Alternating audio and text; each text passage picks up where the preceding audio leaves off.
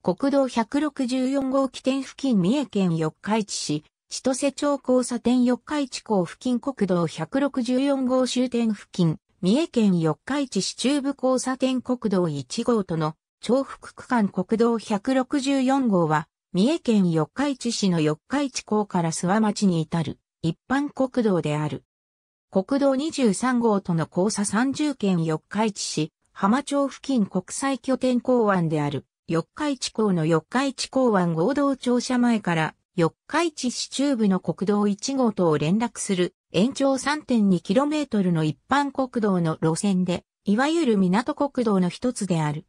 終点付近の中部交差点から約 0.2km の国道1号との重複区間があり、終点は四日市市内を走る国道1号上の諏訪神社前交差点にある。経路の途上にある同市浜町で国道23号と交差する。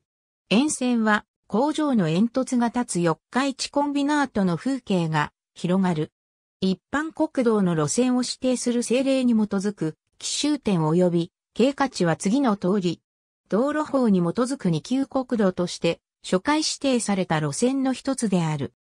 かつては、相生京都交差点から諏訪町北交差点が本路線の経路であったが、現在は北側の柳通りに移転し、旧道は四日市市に移管して、市道諏訪新道線となり、接続していた三重県道521号、四日市停車場線も市道に変更になっている。橋梁道路と交差点名称は、交差点名なし、または信号なし。ありがとうございます。